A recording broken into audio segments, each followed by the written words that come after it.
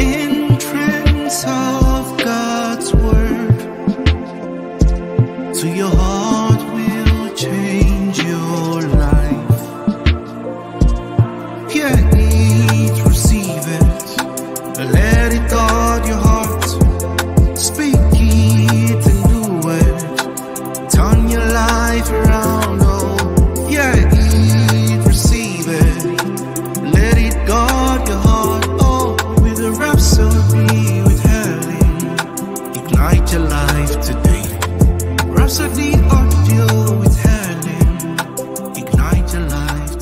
Hello, Saints.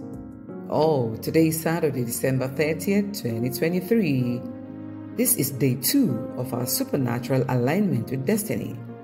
As we are sharpened to hear and follow the precepts of our God and Father by the Holy Spirit, as we pray and fast with Pastor Chris.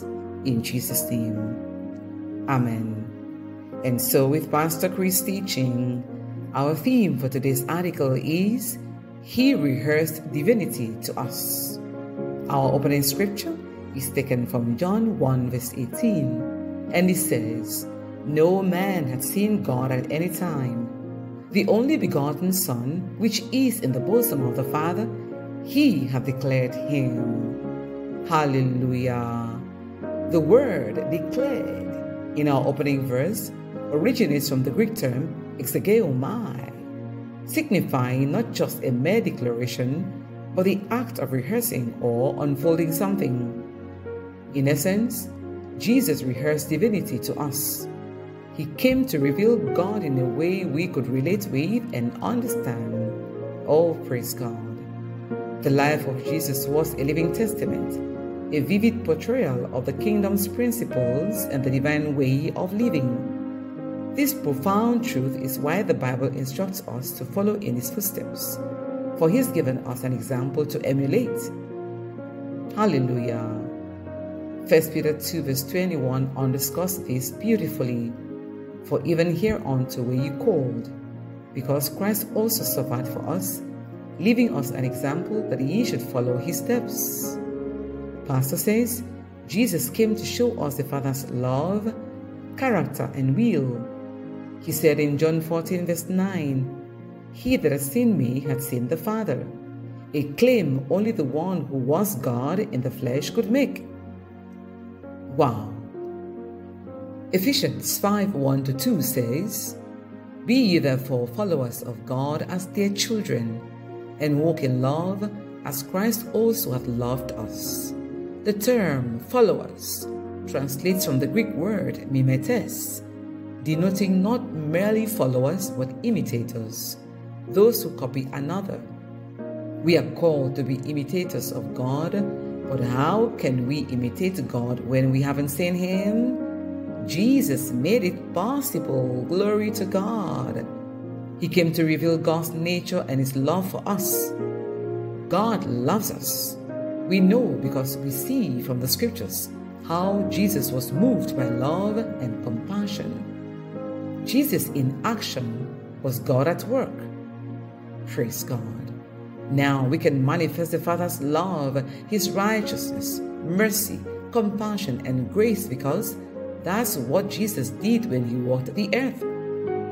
We have the life of Christ in us, and His love is poured out in our hearts by the Holy Spirit, according to Romans 5, verse 5. Hallelujah. Oh, the Apostle Paul tells us and walk in love as Christ also has loved us and given himself for us, an offering and a sacrifice to God for a sweet smelling aroma. That we can find in Ephesians 5 verse 2 of the New King James Version. Pastor concludes, Oh dear Lord, thank you for your word to us today and for Pastor Grace. Okay, let's take a prayer now, meaning every word from the bottom of our hearts. Please say with me, Dear Father, thank you for revealing your nature and your love to us through the Lord Jesus. I follow in his steps and imitate him in my daily life, loving as he loved, walking as he walked, and thinking as he thought. Your love shines through me as a testament to your character and nature in me. In Jesus' name, Amen. All right, for further study, please read John 14, verse 9, Ephesians 5 1 to 2 of the Amplified Classic, and then 1 John 3, verse 16 says, Hereby perceive we the love of God, because he laid down his life for us, and we ought to lay down our lives for the brethren.